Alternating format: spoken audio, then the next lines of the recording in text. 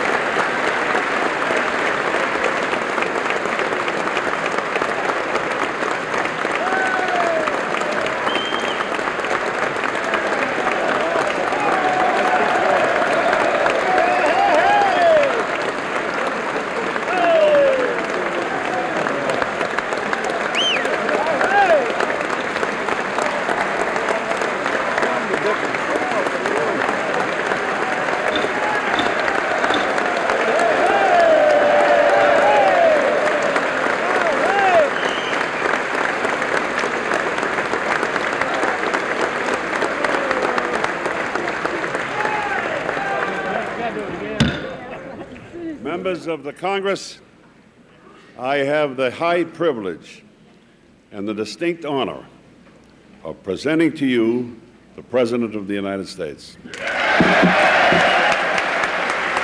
you very much. Thank you.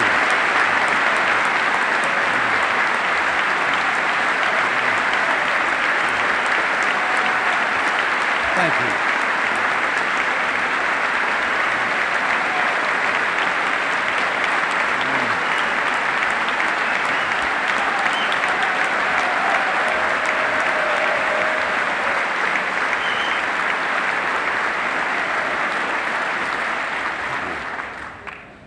Mr. Speaker, Mr. President, distinguished members of the Congress, honored guests, and fellow citizens. Once again, in keeping with time honored tradition, I have come to report to you on the State of the Union. And I'm pleased to report that America is much improved. And there's good reason to believe that improvement will continue through the days to come.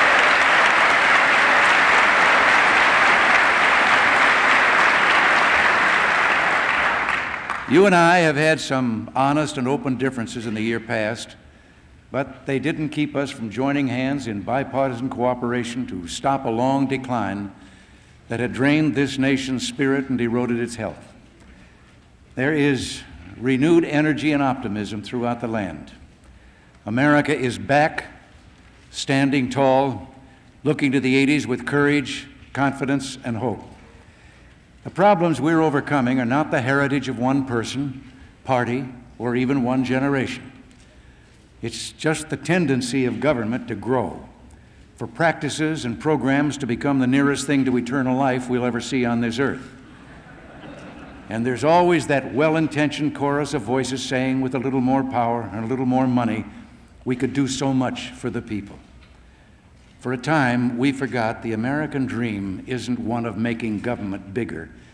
It's keeping faith with the mighty spirit of free people under God.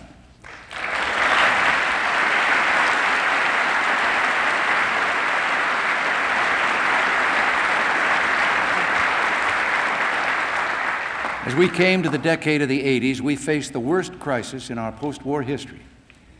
In the 70s, were years of rising problems and falling confidence. There was a feeling government had grown beyond the consent of the governed.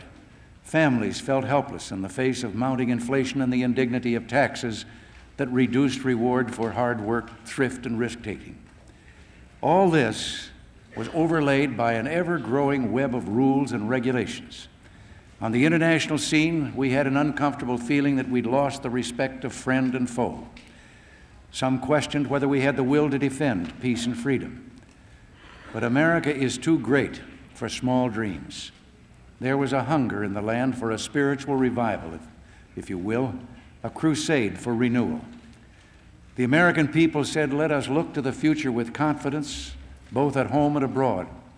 Let us give freedom a chance. Americans were ready to make a new beginning, and together we have done it. We're confronting our problems one by one.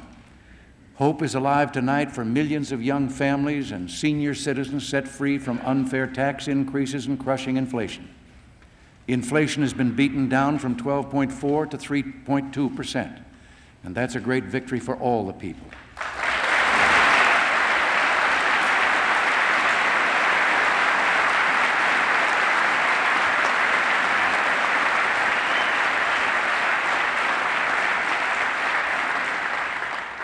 The prime rate has been cut almost in half, and we must work together to bring it down even more.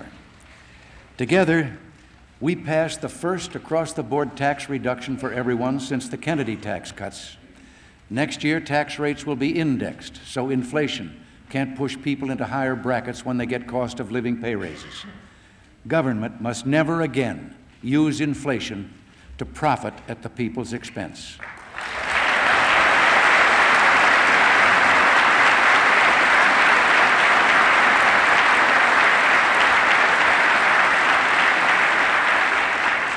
Today, a working family earning $25,000 has $1,100 more in purchasing power than if tax and inflation rates were still at the 1980 levels.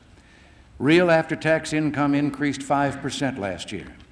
And economic deregulation of key industries like transportation has offered more chances to, co- or choices, I should say, to consumers and new changes or chances for entrepreneurs. And protecting safety Tonight, we can report and be proud of one of the best recoveries in decades. Send away the hand wringers and the doubting Thomases. Hope is reborn for couples dreaming of owning homes, for risk takers with vision to create tomorrow's opportunities. The spirit of enterprise is sparked by the sunrise industries of high tech and by small business people with big ideas. People like Barbara Proctor, who rose from a ghetto to build a multi-million dollar advertising agency in Chicago. Carlos Perez, a Cuban refugee who turned $27 and a dream into a successful importing business in Coral Gables, Florida. People like these are heroes for the 80s. They helped 4 million Americans find jobs in 1983. More people are drawing paychecks tonight than ever before. And Congress helps, or progress helps everyone. Well, Congress does too. Everyone.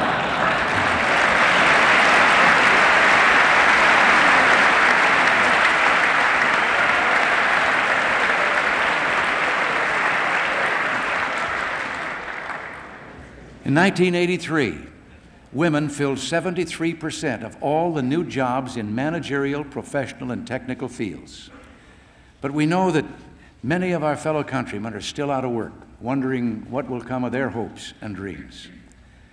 Can we love America and not reach out to tell them, You are not forgotten?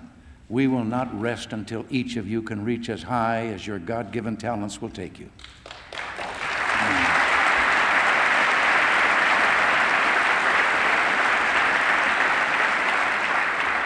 The heart of America is strong it's good and true. The cynics were wrong. America never was a sick society. We're seeing rededication to bedrock values of faith, family, work, neighborhood, peace, and freedom. Values that help bring us together as one people, from the youngest child to the most senior citizen. The Congress deserves America's thanks for helping us restore pride and credibility to our military. And I hope that you're as proud as I am of the young men and women in uniform who have volunteered to man the ramparts in defense of freedom and whose dedication, valor, and skill increases so much our chance of living in a world at peace.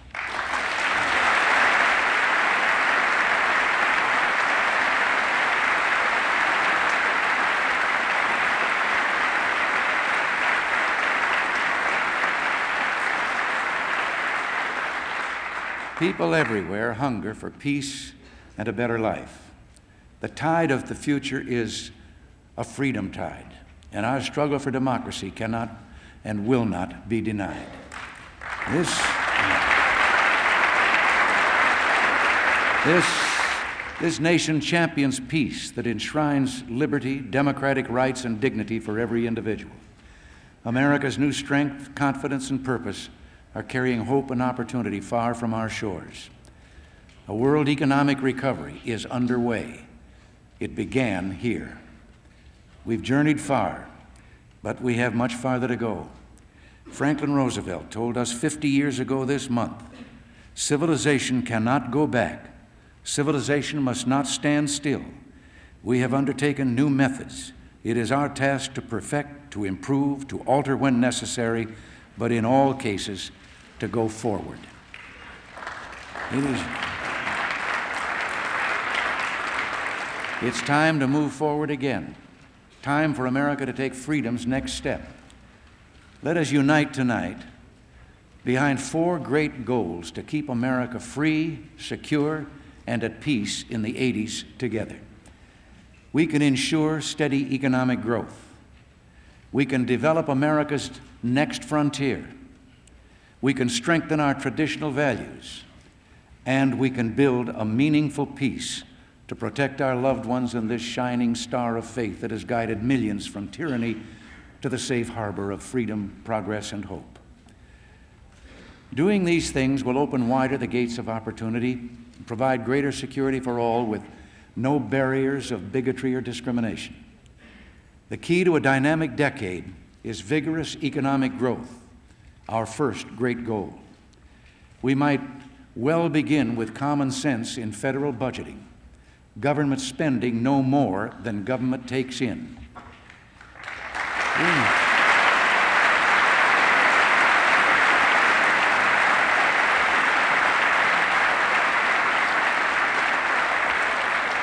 We must bring federal deficits down.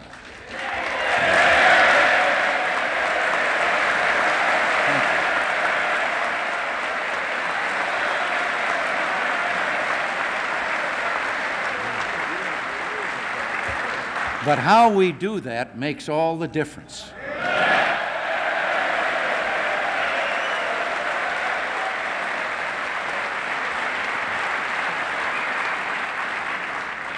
We can begin by limiting the size and scope of government.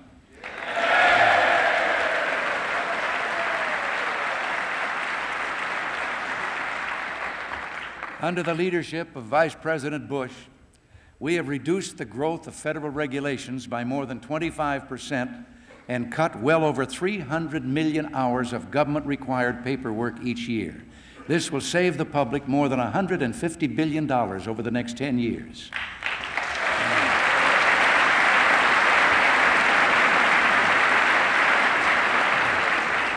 The Grace Commission. The Grace Commission has given us some 2,500 recommendations for reducing wasteful spending and they are being examined throughout the administration. Federal spending growth has been cut from 17.4% in 1980 to less than half of that today. And we have already achieved over $300 billion in budget savings for the period of 1982 to 86. But that's only a little more than half of what we sought. Government is still spending too large a percentage of the total economy.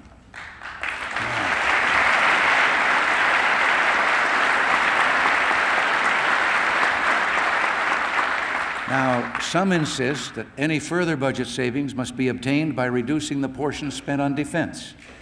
Well, this ignores the fact that national defense is solely the responsibility of the federal government. Indeed, it is its prime responsibility.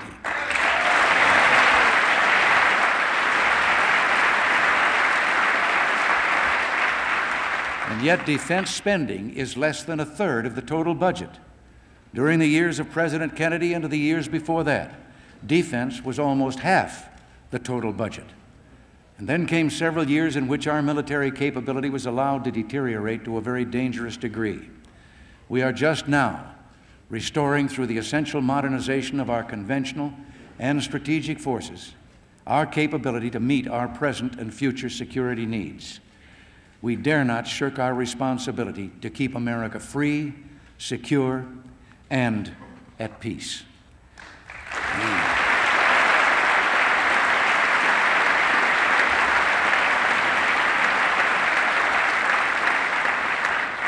The last decade saw domestic spending surge literally out of control, but the basis for such spending had been laid in previous years. A pattern of overspending has been in place for half a century. As the national debt grew, we were told not to worry, that we owed it to ourselves. Now we know that deficits are a cause for worry. But there's a difference of opinion as to whether taxes should be increased, spending cut, or some of both. Fear is expressed that government borrowing to fund the deficit could inhibit the economic recovery by taking capital needed for business and industrial expansion. Well, I think that debate is missing an important point. Whether government borrows or increases taxes, it will be taking the same amount of money from the private sector, and either way, that's too much. Simple.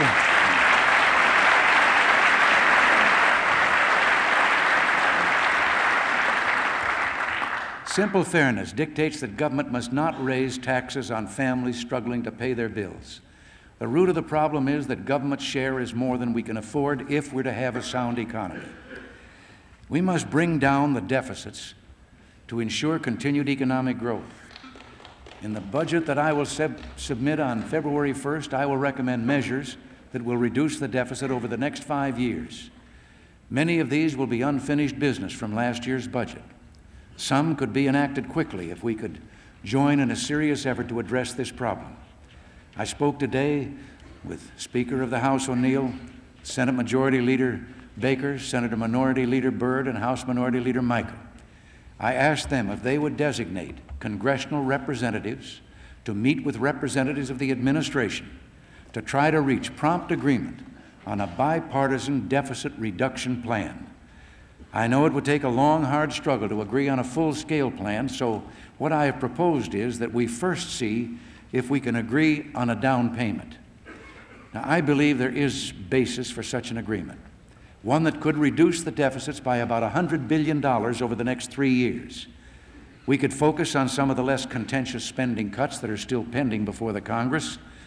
Uh, these could be combined with measures to close certain tax loopholes, measures that the Treasury Department has previously said to be worthy of support. In addition, we could examine the possibility of achieving further outlay savings based on the work of the Grace Commission. If the congressional leadership is willing, my representatives will be prepared to meet with theirs at the earliest possible time. I would hope the leadership might agree on an expedited timetable in which to develop and enact that down payment. But a down payment alone is not enough to break us out of the deficit problem. It could help us start on the right path, yet we must do more. So I propose that we begin, begin exploring how together we can make structural reforms to curb the built-in growth of spending. I also propose improvements in the budgeting process. Some 43 of our 50 states grant their governors the right to veto individual items in appropriation bills without having to veto the entire bill. California is one of those 43 states. As governor, I found this line item veto was a powerful tool against wasteful or extravagant spending. It works in 43 states. Let's put it to work in Washington for all the people.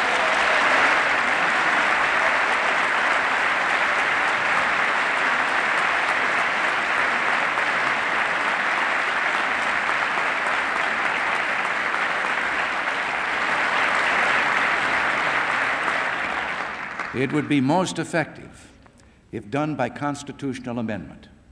The majority of Americans approve of such an amendment, just as they and I approve of an amendment mandating a balanced federal budget. Many,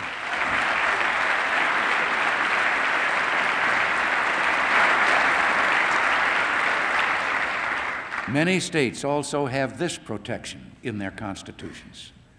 To talk of meeting the present situation by increasing taxes is a band aid solution which does nothing to cure an illness that's been coming on for half a century, to say nothing of the fact that it poses a real threat to economic recovery. Let's remember that a substantial amount of income tax is presently owed and not paid by people in the underground economy. It would be immoral to make those who are paying taxes pay more to compensate for those who aren't paying their share.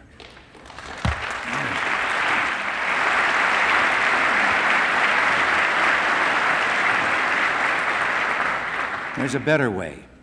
Let us go forward with an historic reform for fairness, simplicity, and incentives for growth. I am asking Secretary Don Regan for a plan for action to simplify the entire tax code so all taxpayers, big and small, are treated more fairly. And I believe such a plan could result in that underground economy being brought into the sunlight of honest tax compliance, and it could make the tax base broader so personal tax rates could come down, not go up.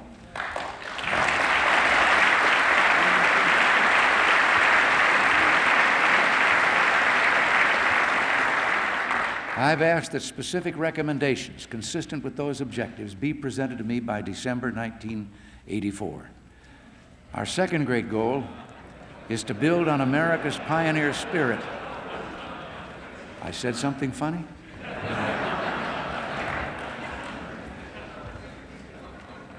I said America's next frontier. And that's to develop that frontier. A sparkling economy spurs initiatives, sunrise industries, and makes older ones more competitive. Nowhere is this more important than our next frontier, space. Nowhere do we so effectively demonstrate our technological leadership and ability to make life better on Earth. The space age is barely a quarter of a century old, but already we've pushed civilization forward with our advances in science and technology. Opportunities and jobs will multiply as we cross new thresholds of knowledge and reach deeper into the unknown. Our progress in space, taking giant steps for all mankind, is a tribute to American teamwork and excellence.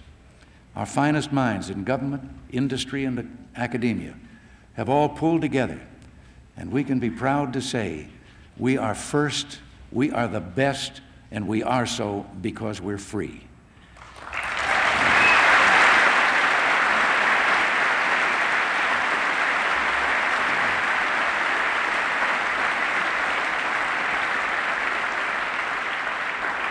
America has always been greatest when we dared to be great.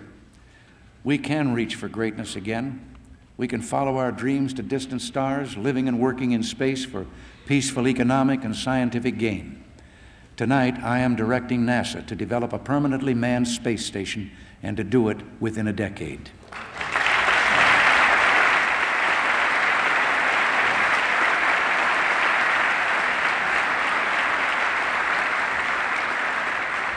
A space station will permit quantum leaps in our research in science, communications, in metals, and in life saving medicines, which can be manufactured only in space. We want our friends to help us meet these challenges and share in their benefits. NASA will invite other countries to participate so we can strengthen peace, build prosperity, and expand freedom for all who share our goals. Just as the oceans opened up a new world for clipper ships and Yankee traders, Space holds enormous potential for commerce today. The market for space transportation could surpass our capacity to develop it. Companies interested in putting payloads into space must have ready access to private sector launch services. The Department of Transportation will help an expendable launch services industry to get off the ground. We'll soon implement a number of executive initiatives, develop proposals to ease regulatory constraints, and with NASA's help, promote private sector investment in space. And as we develop the frontier of space, let us remember our responsibility to preserve our older resources here on Earth. Preservation of our environment is not a liberal or conservative challenge, it's common sense. Though this is a time of budget constraints, I have requested for EPA one of the largest percentage budget increases of any agency. We will begin the long, necessary effort to clean up a productive recreational area and a special national resource, the Chesapeake Bay.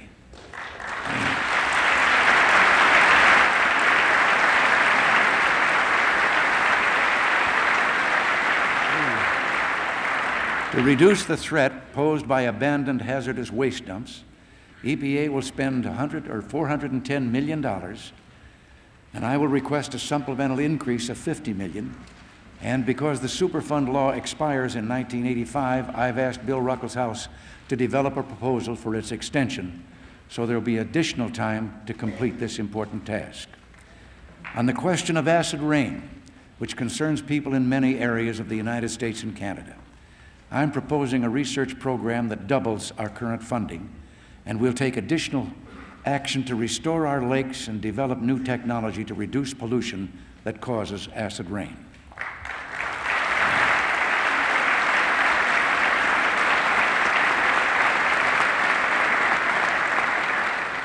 We have greatly improved the conditions of our natural resources. We'll ask the Congress for $157 million beginning in 1985 to acquire new park and conservation lands. The Department of the Interior will encourage careful, selective exploration and production on our vital resources in an exclusive economic zone within the 200 mile limit off our coasts, but with strict adherence to environmental laws and with fuller state and public participation. But our most precious resources our greatest hope for the future are the minds and hearts of our people, especially our children. We can help them build tomorrow by strengthening our community of shared values. This must be our third great goal. For us, faith, work, family, neighborhood, freedom, and peace are not just words. They're expressions of what America means, definitions of what, it, what makes us a good and loving people. Families stand at the center of our society, and every family has a personal stake in promoting excellence in education. Excellence does not begin in Washington. A 600% increase in federal spending on education between 1960 and 1980 was accompanied by a steady decline in scholastic aptitude test scores. Excellence must begin in our homes and neighborhood schools, where it's the responsibility of every parent and teacher and the right of every child our children come first, and that's why I established a bipartisan National Commission on Excellence in Education to help us chart a common sense course for better education. And already, communities are implementing the Commission's recommendations. Schools are reporting progress in math and reading skills. But we must do more to restore discipline to schools, and we must encourage the teaching of new basics, reward teachers of merit, enforce tougher standards, and put our parents back in charge. I will.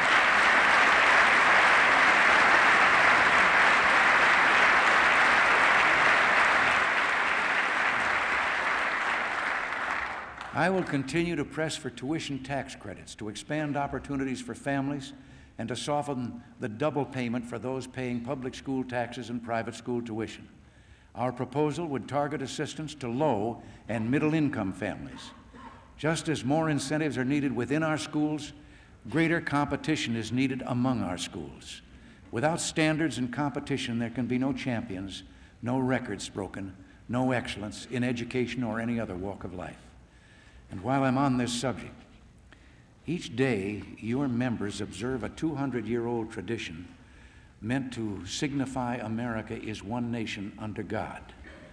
I must ask if you can begin your day with a member of the clergy standing right here, leading you in prayer, then why can't freedom to acknowledge God be enjoyed again by children in every schoolroom?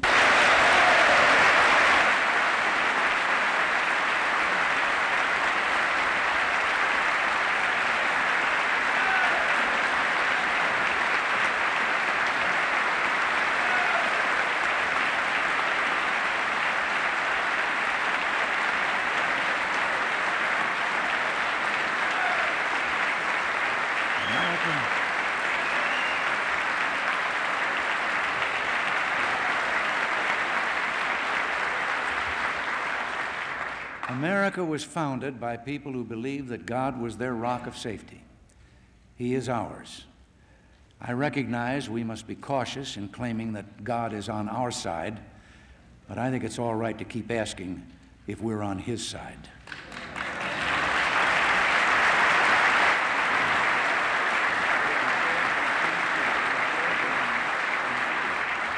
During our first three years, we have joined bipartisan efforts to restore protection of the law to unborn children.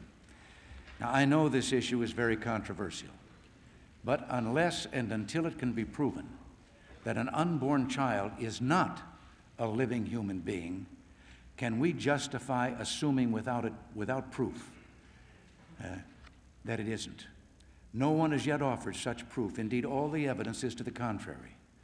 We should rise above bitterness and reproach, and if Americans could come together in a spirit of understanding and helping, then we could find positive solutions to the tragedy of abortion.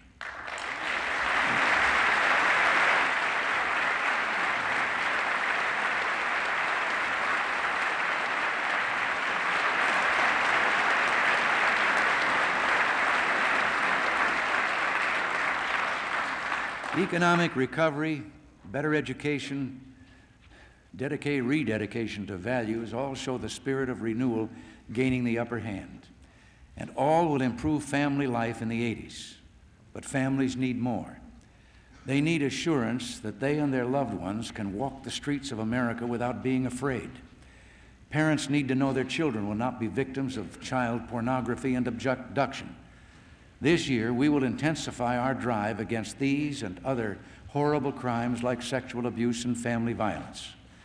Already, our efforts to crack down on career criminals, organized crime, drug pushers, and to enforce tougher sentences and paroles are having effect. In 1982, the crime rate dropped by 4.3%, the biggest decline since 1972. Protecting victims is just as important as safeguarding the rights of defendants. Opportunities for all Americans.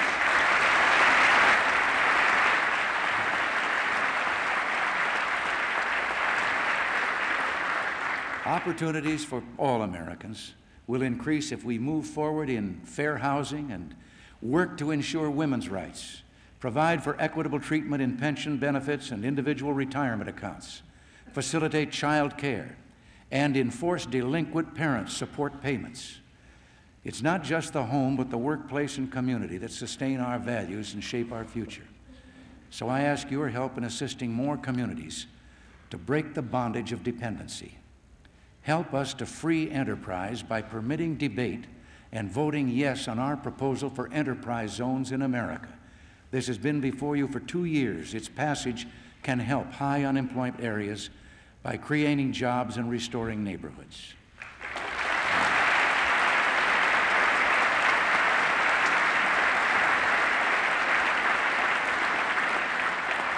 A society bursting with opportunities reaching for its future with confidence, sustained by faith, fair play, and a conviction that good and courageous people will flourish when they're free. These are the secrets of a strong and prosperous America at peace with itself and the world. A lasting and meaningful peace is our fourth great goal. It is our highest aspiration, and our record is clear. Americans resort to force only when we must. We have never been aggressors. We have always struggled to defend freedom and democracy. We have no territorial ambitions. We occupy no countries. We build no walls to lock people in. Americans build the future. And our vision of a better life for farmers, merchants, and working people from the Americas to Asia begins with a simple premise the future is best decided by ballots, not bullets.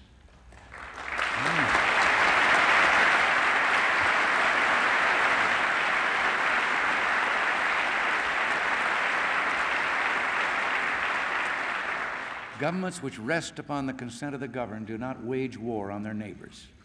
Only when people are given a personal stake in deciding their own destiny, benefiting from their own risks, do they create societies that are prosperous, progressive, and free. Tonight, it is democracies that offer hope by feeding the hungry, prolonging life, and eliminating drudgery. When it comes to keeping America strong, free, and at peace, there should be no Republicans or Democrats, just patriotic Americans. We can decide the tough issues not by who is right, but by what is right. Together, we can continue to advance our agenda for peace. We can establish a more stable basis for peaceful relations with the Soviet Union, strengthen allied relations across the board, achieve real and equitable reductions in the levels of nuclear arms, reinforce our peacemaking efforts in the Middle East, Central America, and Southern Africa, insist or assist developing countries, particularly our neighbors in the Western Hemisphere, and assist in the development of democratic institutions throughout the world. The wisdom of our bipartisan cooperation was seen in the work of the Scowcroft Commission, which strengthened our ability to deter war and protect peace. In that same spirit, I urge you to move forward with the Henry Jackson Plan to implement the recommendations of the Bipartisan Commission on Central America.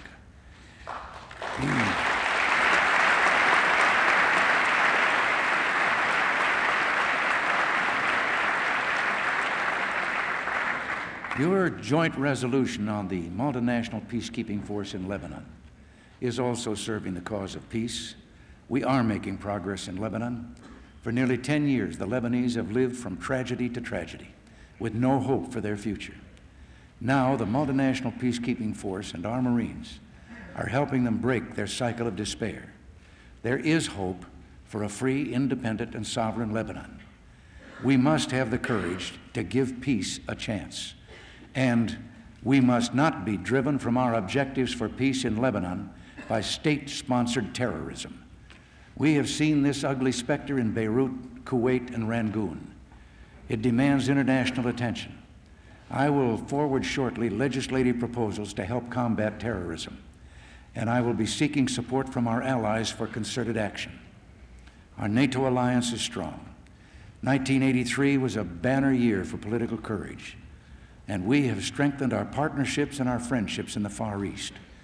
We're committed to dialogue, deterrence, and promoting prosperity. We'll work with our trading partners for a new round of negotiations in support of freer world trade, greater competition, and more open markets a rebirth of bipartisan cooperation, of economic growth and military deterrence, and a growing spirit of unity among our people at home and our allies abroad underline a fundamental and far reaching change. The United States is safer, stronger, and more secure in 1984 than before. We.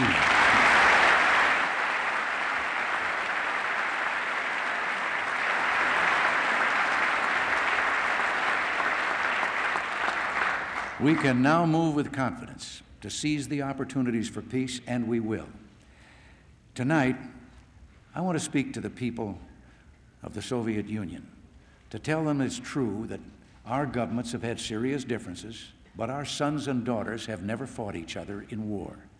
And if we Americans have our way, they never will. People of the Soviet Union, there is only one sane policy for your country and mine to pres preserve our civilization in this modern age. A nuclear war cannot be won and must never be fought.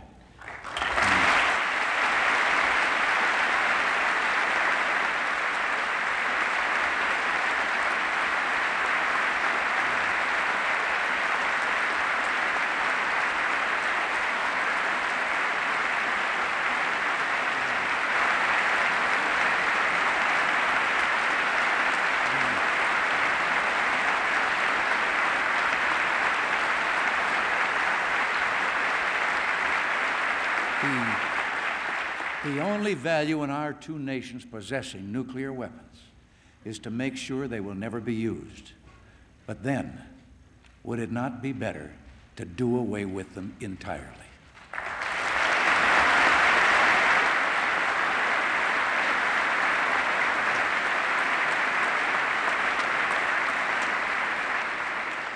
People of the Soviet, President Dwight Eisenhower, who fought by your side in World War II, said the essential struggle is not merely man against man or nation against nation, it is man against war. Americans are people of peace. If your government wants peace, there will be peace.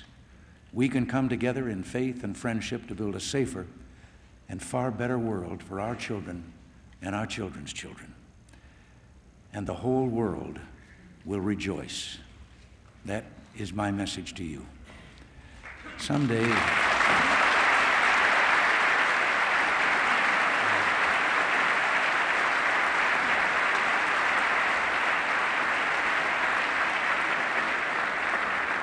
Some days when life seems hard and we reach out for values to sustain us or a friend to help us, we find a person who reminds us what it means to be Americans.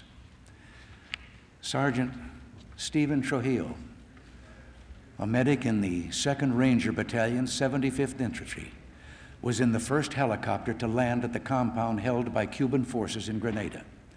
He saw three other helicopters crash. Despite the imminent explosion of the burning aircraft, he never hesitated. He ran across 25 yards of open terrain through enemy fire to rescue wounded soldiers. He directed two other medics, administered first aid, and returned again and again to the crash site to carry his wounded friends to safety. Sergeant Trujillo, you and your fellow servicemen and women not only saved innocent lives, you set a nation free. You inspire us as a force for freedom, not for despotism, and yes, for peace, not conquest. God bless you.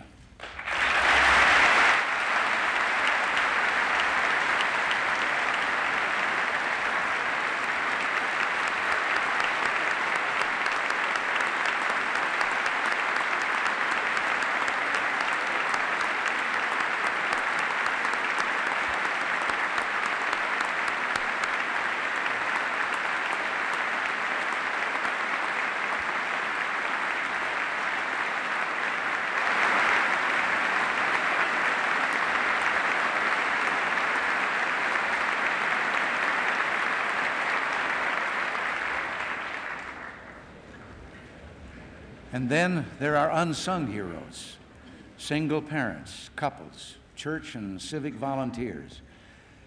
Their hearts carry without complaint the pains of family and community problems. They, they soothe our sorrow, heal our wounds, calm our fears, and share our joy. A person like Father Ritter is always there.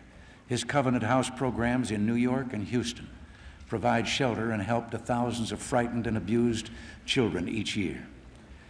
The same is true of Dr. Charles Carson. Paralyzed in a plane crash, he still believed nothing is impossible. Today in Minnesota, he works 80 hours a week without pay, helping pioneer the field of computer controlled walking. He has given hope to 500,000 paralyzed Americans that someday they may walk again. Can we, how can we not believe in the greatness of America? How can we not do what is right and needed to preserve this last best hope of man on earth? After all our struggles to restore America, to revive confidence in our country, hope for our future, after all our hard won victories earned through the patience and courage of every citizen, we cannot, must not, and will not turn back. We will finish our job. How could we do less? We're Americans.